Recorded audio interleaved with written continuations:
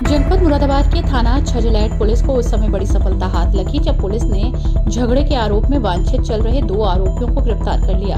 बताया जा रहा है कि थाना प्रभारी राम प्रताप को गुप्त सूचना मिली थी कि ये दोनों अपराधी थाना क्षेत्र के ग्राउंड में घूम रहे हैं, जिस पर तुरंत थाना प्रभारी राम प्रताप ने मौके पर पहुंचकर दोनों आरोपियों को गिरफ़्तार कर लिया।